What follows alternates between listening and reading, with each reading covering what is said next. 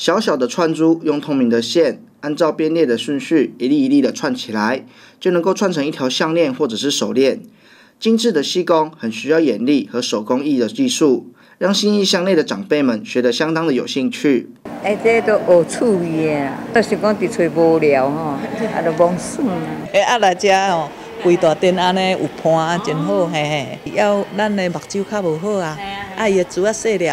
这项属于原住民文化的串珠课程，吸引很多新义乡内的长辈以及妇女来学习。虽然做的过程很不简单，但是看到自己做好的成品，大家都感到很有价值。真的，哎，那个串珠真的不是很简单的，它的困难度啊真的很高，就是要用很细心啊。不过他们那个串珠那个。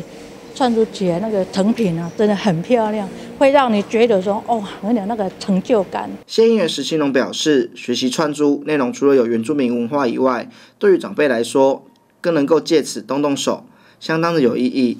啊，我们的长者啊，啊，能够透过这个呃传统的这样的一个呃项链的啊串珠啊啊，让我们的呃这个呃我们的长者啊啊。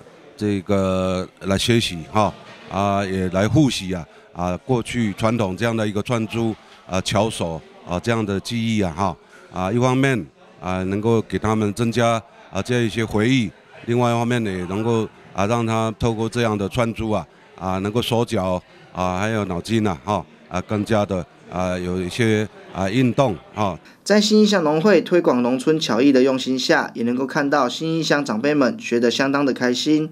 石新农议员肯定主办单位的付出，也期盼未来能够继续办理，让长辈们透过参与活动动动手、动动脑。记者邱平义新义采访报道。